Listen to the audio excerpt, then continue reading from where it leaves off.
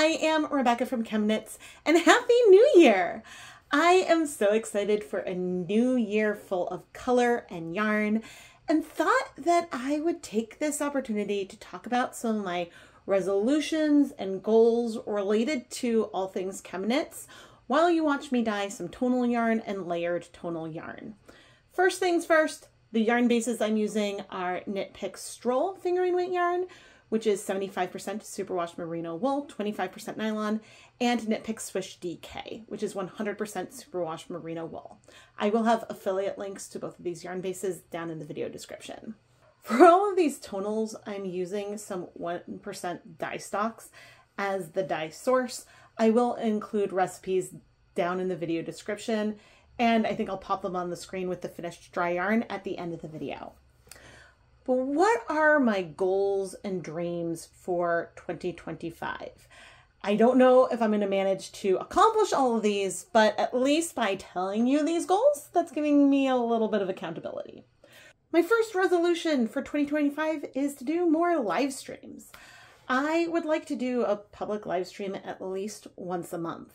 Uh, whether that is in place of a pre-filmed video in my Friday slot. I always post videos on Tuesdays and Fridays at a minimum, but I'd like to go live at least once a month. And some of this will be yarn dyeing. Some of this maybe finally I'll do a spinning live stream or some other kind of fiber arts project. But I also want to do at least one of those silly yarn dyeing games uh, where I have a picker wheel that will randomly select the colors I'm going to use and randomly select the dyeing techniques that I'm going to feature. This is a lot of fun and helps me showcase my thought process and creativity as we are dyeing our yarn. I realized that the last time I did one of these streams was the week before my mom died back in 2023 and that's probably why I haven't done one since. And I'm really excited to do one again. And for me, I don't know, that's very healing that I'm so excited and energized to do this. So that'll be coming in 2025. I hope. Another one of my goals for 2025 is to do some more dyeing to knit type vlogs. Um, I would like to do more projects that I specifically dye the yarn for, whether it is a woven project, a spinning project, or a knitting project. I mean, I suppose it could be a crochet project as well, but hopefully you get the sense of what I'm talking about. I have some works in progress that I should finish up and share, and I think it's just helpful for people to see what hand-dyed yarn can turn into, and it's just something different from what I always do. And I'd like to try to do a couple more of it. Again, this is a resolution. Similar to this, in 2025, I want to weave something with my hand-dyed yarn. I have done a few rigid heddle loom projects so far, and technically the very first thing I did was some coasters that I think, did Lucas dye? With hand-dyed yarn. There were hand-dyed coasters, but that's not the same as doing a full project, like most likely a scarf with hand-dyed yarn. And so that's something that is a goal for this year. Another goal that is more content focused is that I would like to make slash finish what I've already started for some new learning how to dye intro to dyeing yarn videos. Think of this like an updated version of what I created with KnitCrate back when we had that collaboration, back when that company still existed. Now, those videos do still exist and are still available, but they're not on my channel. And I think that it would be handy for me to have a playlist of videos that are for people who want to get started and that are not assuming that you've watched hundreds of my other videos before. And so if you have something that you think should be covered in that series, please let me know.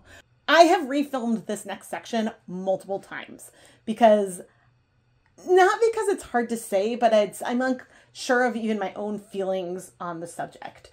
But one of my resolutions and something I am determined to try to do is to post short form content across social media more frequently in 2025, whether that's reels on Instagram and Facebook or shorts here on YouTube.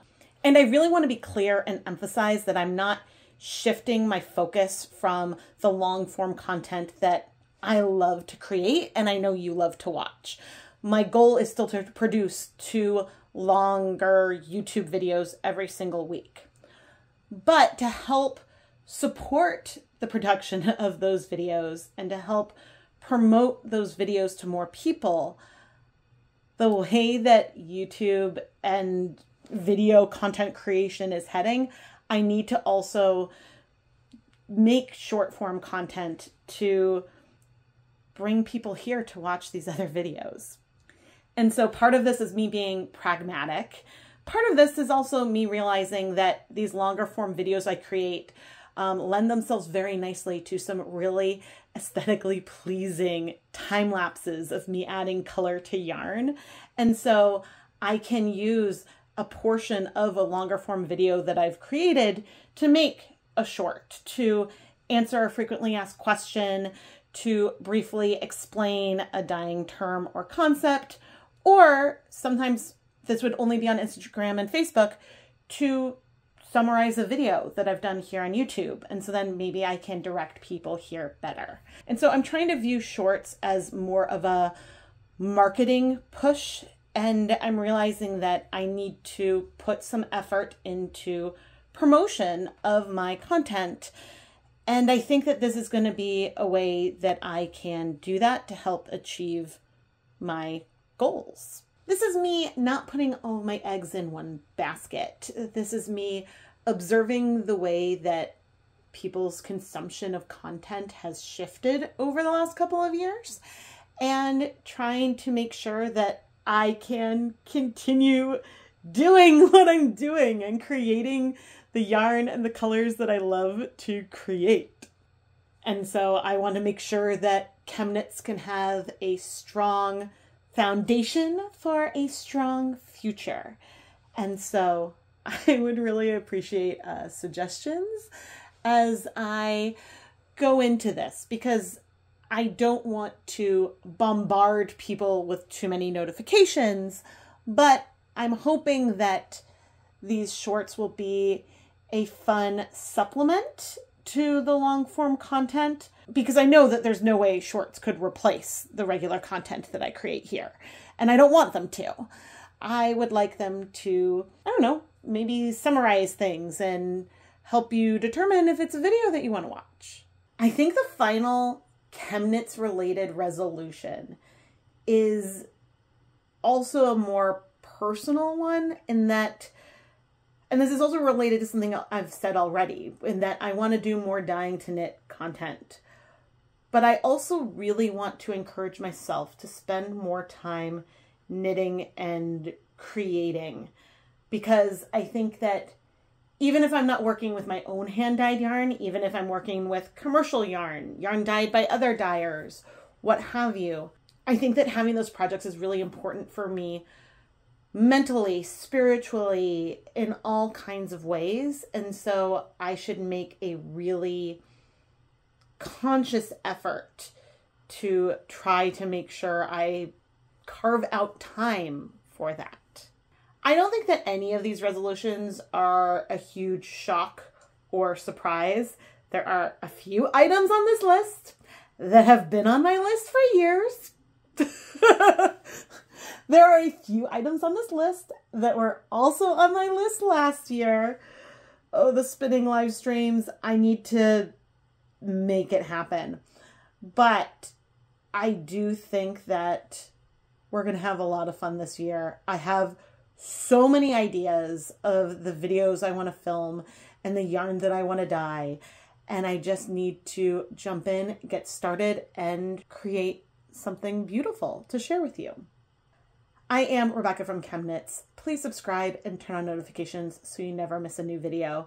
This is the biggest thing that you can do to help support the content here. Subscribing, notif- watching the videos, commenting on the videos, all of this engagement really helps the channel grow. And this is something that's really important to me and is what enables me to continue to take risks with color and yarn. If you want other ways to support the content, uh, I have a Patreon. You can join to become a channel member. There's tons of things down in the video description that you can check out. I hope that you are excited for what is to come in 2025 as I am. Thank you so much for watching.